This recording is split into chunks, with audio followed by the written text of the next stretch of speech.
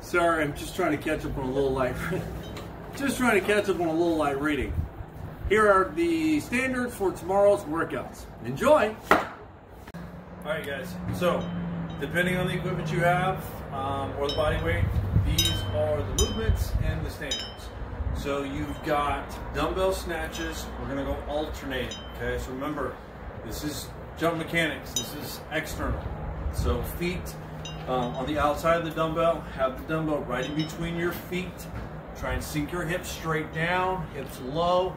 You don't have to be in a full squat, but you want to be low enough to where you can have some leverage to jump it up, bring it down, alternate, and then jump. Okay? Again, always try and avoid from the side, just leaning over to pick it up. Sink your hips down so your head and chest can stay up. Okay? That's the dumbbell snatch. Med ball clean vertical throws. Same concept. Drop your hips straight down. Don't just lean over. Bring the ball here. Dip. Throw the ball as high as you can. Let it drop. Pick it back up. But always set up here. Again, not just leaning over to pick it up. This way and throwing it. Set your hips down, catch, and then throw. Then you've got kettlebell swings, full swings. So remember, this is hinge mechanics. So now your hips are going to stay high.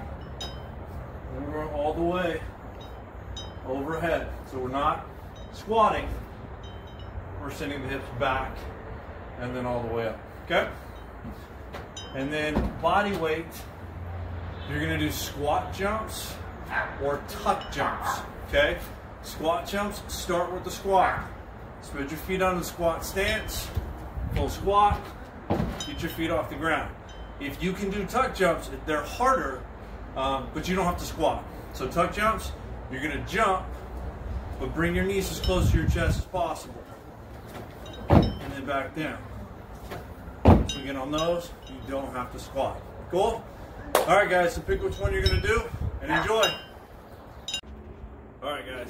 So I did throw in some extra credit. So it doesn't matter what you've done, whether you use the, the kettlebell, the dumbbell, the med ball.